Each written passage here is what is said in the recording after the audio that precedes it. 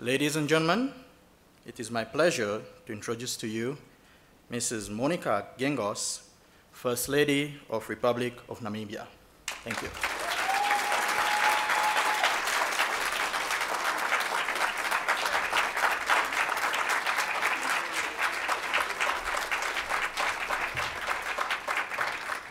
Please sit down.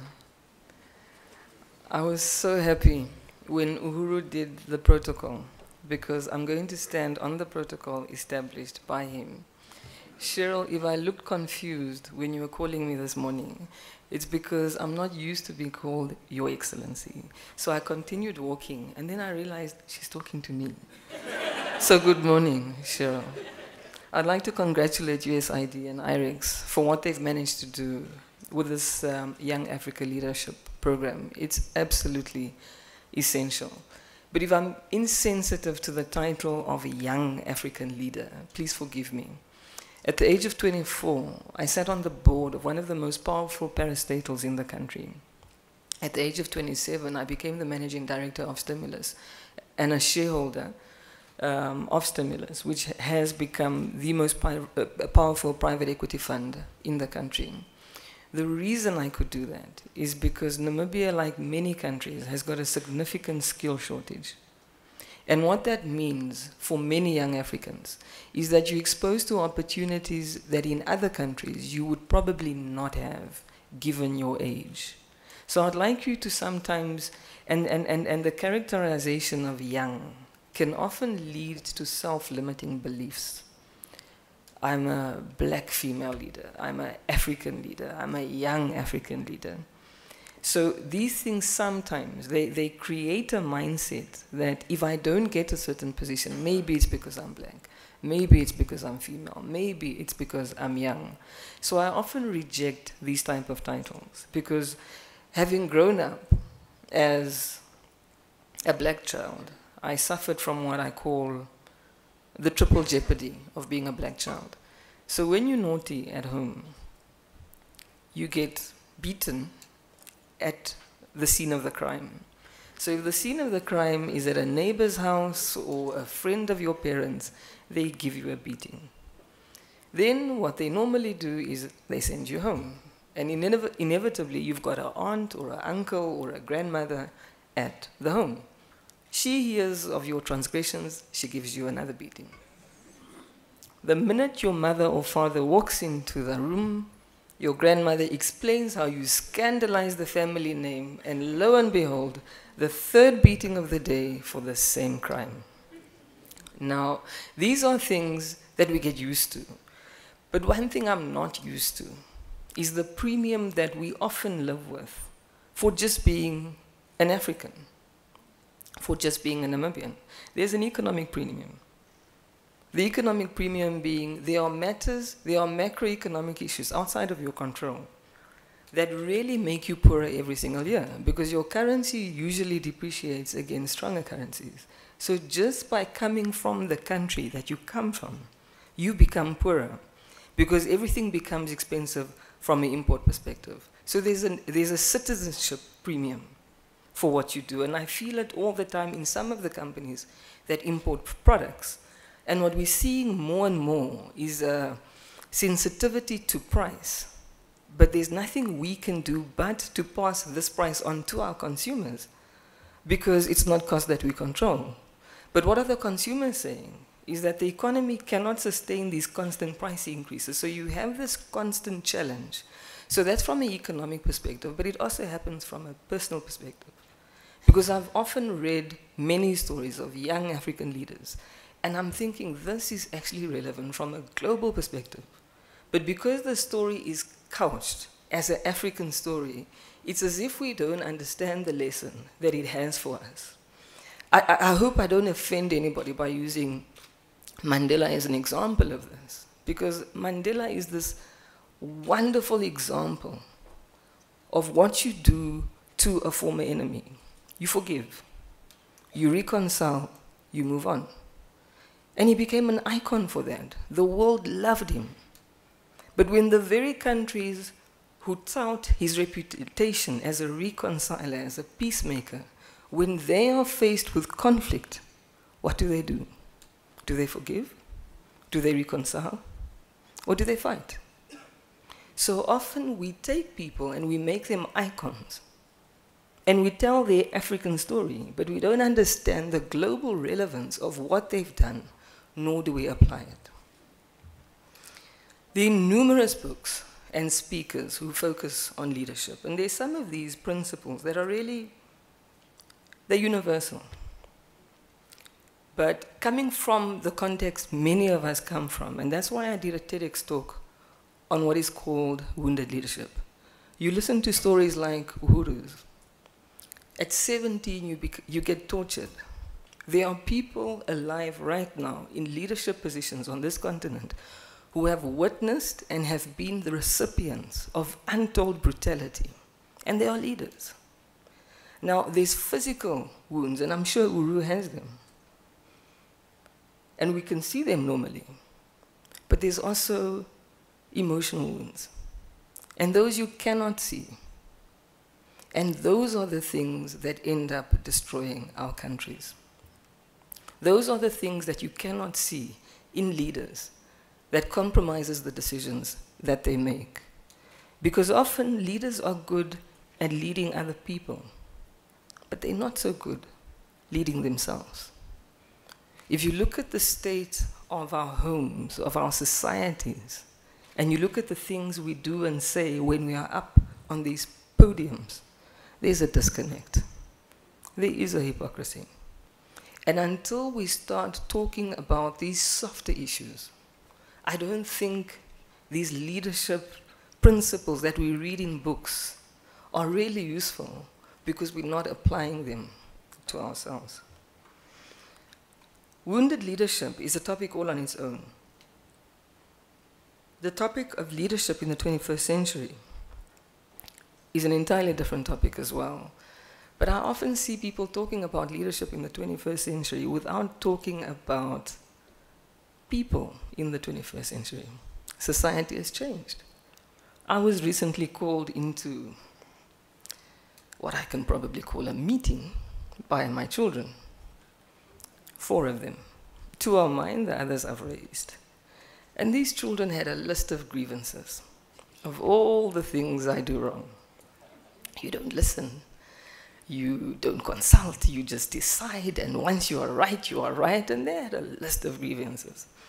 And while I internalized some of their complaints and I could see the validity of what they were saying, I had to reject it and to tell them you need to understand in life, there is always somebody above you. There is always somebody prettier, thinner, richer, or more powerful than what you are. So it's not about me changing who I am as your mother, because actually you need me more than I need you. but I'm not going to change to suit you. You need to figure out how you are going to adapt and make me behave in the way you want me to behave. And that is leadership. Because often, often we are led and we are managed by our subordinates. I am led and managed by my subordinates all the time. I only realize it after the fact. And when it comes to society, like my children, we've got a less hierarchical society today as it was 50 years ago. I never questioned my parents. My children question me every day. So I cannot assume that the challenges to my authority by my children will be, very, will be dissimilar to the challenges I face from people within organizations that I manage and lead. So often, you, you create a brand and leadership titles. But it's very important not to, not to let that define you, not to allow that to become who you are. It's nice being First Lady, but it's a title, it's a temporary title. I gave a bit of a lecture to a young girl who told me, I want to be a First Lady. So I asked her, well, what happened in order for me to become First Lady? You got married. I was like, why are you aspiring to marry a president as opposed to aspiring to become a president. So often you need to deconstruct titles. And I much prefer my title as Managing Director of Stimulus or Chairman of eBank than a title of First Lady because you want to define what is your role? What is it that you do? What is your purpose? What is it, what, what justifies and defends your existence? Being First Lady is temporary. Being a professional is actually permanent. Nobody can take that away from you.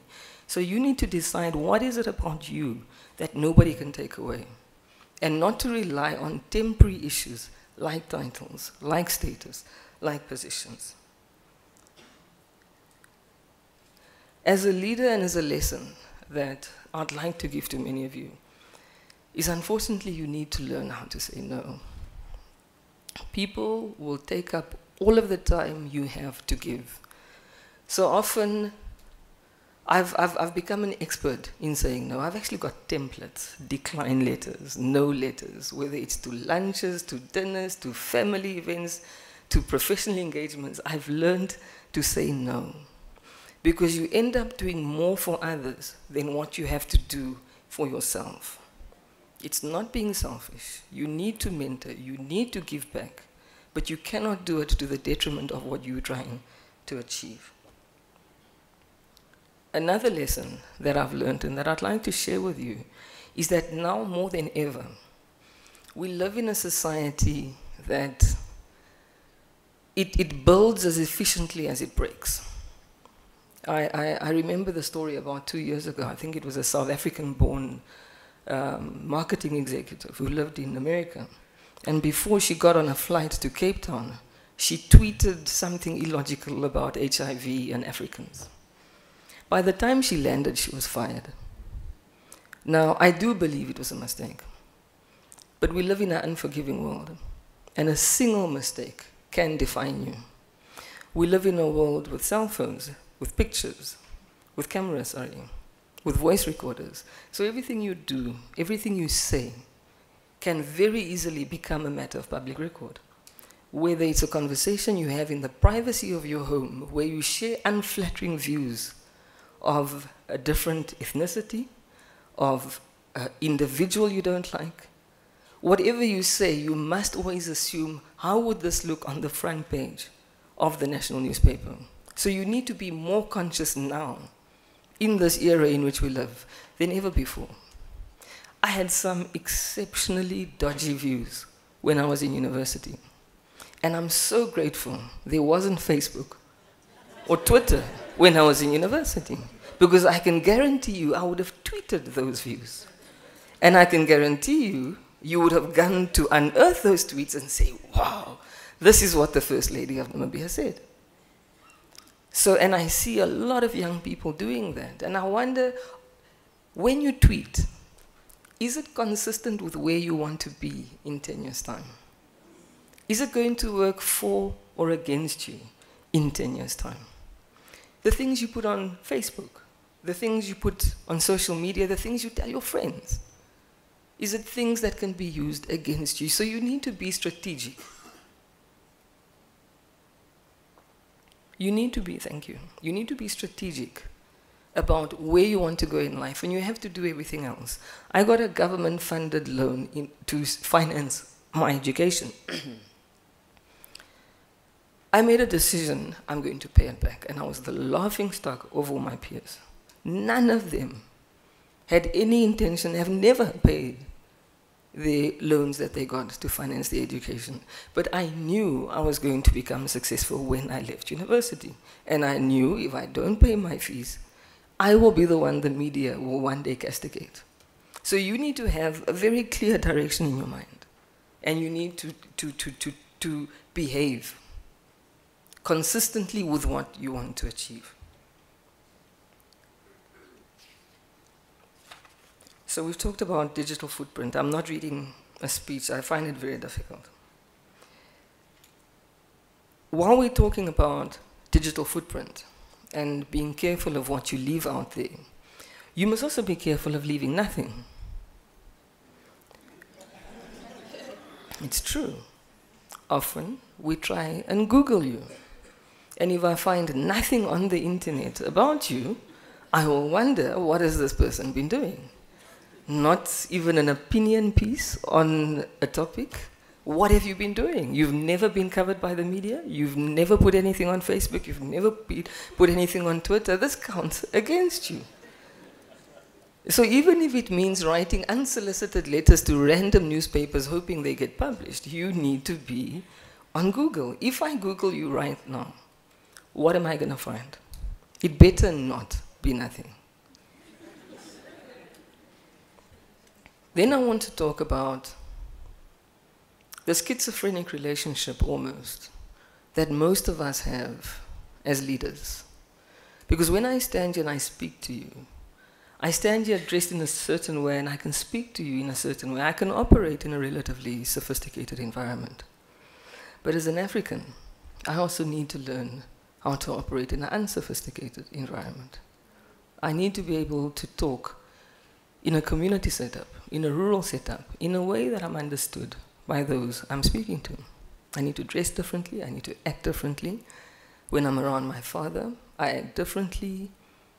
And I don't want to use the example, but I'm quite happy calling Cheryl by her first name. Let me try do that in a rural area to a friend of my mother, and I will meet a very painful end. but I've got no qualms because I do understand I operate in two different worlds. And we need to embrace that. I don't think we should ever be ashamed of where we come from and how we operate where we come from. But we also need to know how to operate in a different environment, in a way that you continue to be relevant. So be schizophrenic.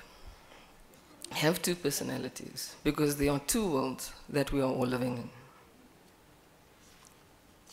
We often make personal sacrifices to be where we are. I've got a suspicion that this program probably has more female leaders than male. Our country has a, a gender-based violence problem.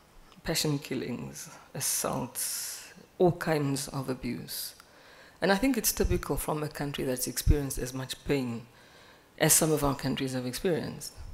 But I think there's something else happening there. I think there's a, there's a power play and a power shift happening in our societies that is manifesting itself in violence against women because the roles are changing.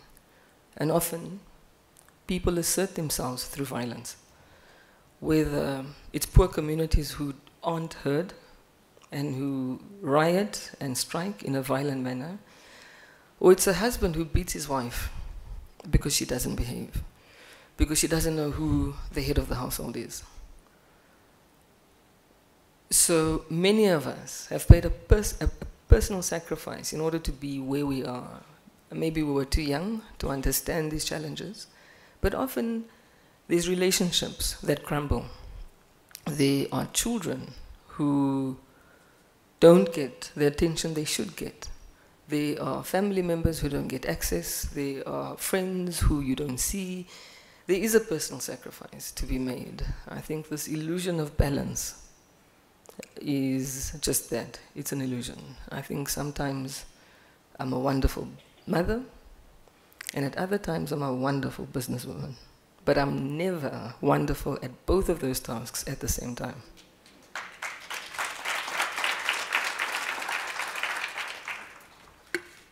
Then I want to talk about the relationship between money and power.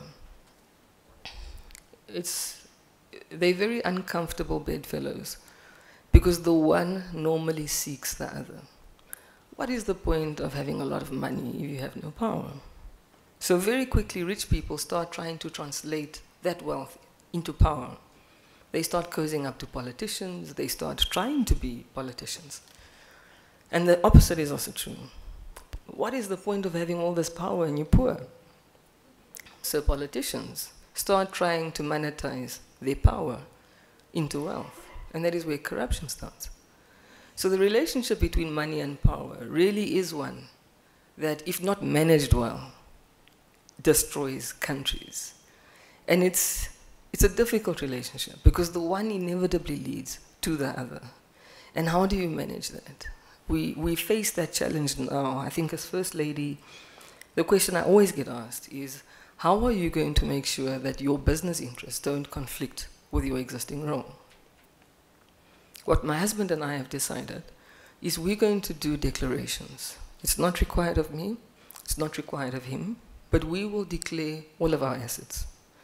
And in that way, people can know what you own, where it is. I don't want to hide through proxies.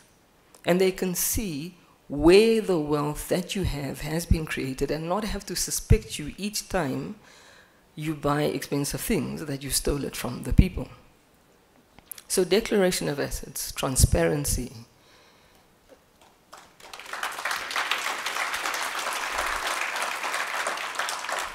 and communication are key issues in leadership. It's a double-edged sword. I don't necessarily want everybody to know what I own and how much it's worth, but I guess there's a bigger price um, to leadership at times. But it also comes down to a personal discomfort. Many of you are doing wonderful things for your countries. Many of you are highly qualified, highly experienced, and I'm sure many of you have wonderful footprints, digital footprints in your media. You get covered. But you haven't monetized that brand. So you've got this wonderful profile, but you're not making money from it. And that shouldn't be your focus either. There's one putting up his hand. And at times, you do what you love, and you become wealthy from it. But then there are days where it makes a hypocrite out of you. I remember one day I had wanted to go into a township, and without realizing it, I changed cars. I took my son's car. And I got in the car and I realized, you know, it's a bit stupid. Look at this handbag. And you're going to a poor community, so I changed handbags. And then I thought about it as I was trying why am I trying to hide what I have? So there is a constant discomfort when you see at how the opportunities you have relative to how other people live. And if you look at it from a global perspective, inequality is global. Actually, it's biblical according to Uhuru. But it's, it's, it's, it's a problem where the resources are sufficient. It's the way we distribute it that isn't. So we need to find a better way to distribute resources. We need to find a better way to include everybody in the community because you need to look at a society, a, a country's citizens as a group. A group is supposed to protect, people protect the group you act in a protective way to allow the group to survive. Now, if there are people in that group who don't benefit from it, who are not protected by it, they actually benefit from chaos. That is exactly what they'll do. And then this trend, where if people act in an inhumane way, we want to call them savages, but we allow them to live in inhumane conditions. But when they react in inhumane ways, we judge them for that. It's as much. So that is as much our responsibility as it is theirs. If I have no interest in that group, I don't care for its peace and stability because that peace and stability doesn't translate into a better life for me. So we must be more inclusive. The word Tribalism I don't like for a very petty reason. The petty reason being I never hear, you know, you find conflict in Eastern Europe, which is actually tribalistic, but it's characterized as religious conflict. Tribalism is a word only used for African conflict. So I don't like the word. So let's, what, what other word can we use? Ethnicism or whatever. Sorry? Discrimination is so wide. So, so to me, I'm talking about you don't speak the same language as I do, although we share a common culture. Now, that is something that is destroying Africans. Because often our conflict had ethnic, ethnic lines. Colonialism only added to it, but those ethnic lines, those fault lines, was there before. And often what happens, because you are in the trenches with somebody, those are the people you trust. So when you come into government, those are the people you appoint. So we must stop only trusting the people who speak the same language as we do, who look the way we do, who believe the things we believe. And understand is we must include a wider group of people. I made the mistake of putting gum in my mouth. And I'm owning up to it because it's bothering me. so be at peace with what your role is, whether you manage to monetize it or not. I'm actually inspired by people who are happy with what they do. I'm inspired by teachers because I could never be a teacher. I could never be a nurse. I could never be happy with not, I had to be where I am now because that's the only thing that would make me happy. So I'm inspired by others who are comfortable with the roles that they play. All of you, none of you look very young to me actually. So I'm going to not call you young African leaders, I'm just going to call you leaders, if you don't mind.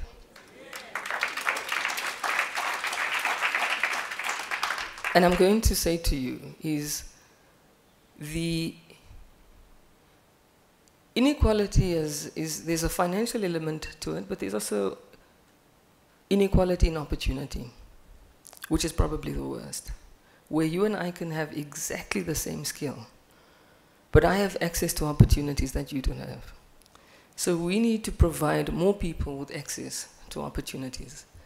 And then we make our, our countries and our continent move forward. I think we're all tired of the typical embarrassing stories about Africa. And I'm sure you do it. It's like about my family. I've got a few relatives really who are, you can't defend their actions. And we've got family groups and we castigate them and we, we admit and we, we, we, we, we, we're not in denial about their shortcomings. But outside the family. You never criticize a family member. As a matter of fact, you pretend you don't even know the things they do. And as Africans, we, our continent has forced us to do that. So often, when you see African leaders pretend they don't know what's happening, they know. They just don't want to say it in your presence. So believe us, we do talk about these things to one another. We just don't want to hear it from others. But it is time that we start having honest conversations about the status of our continent, of our countries, and all the things that we do that we know we shouldn't be doing. Thank you.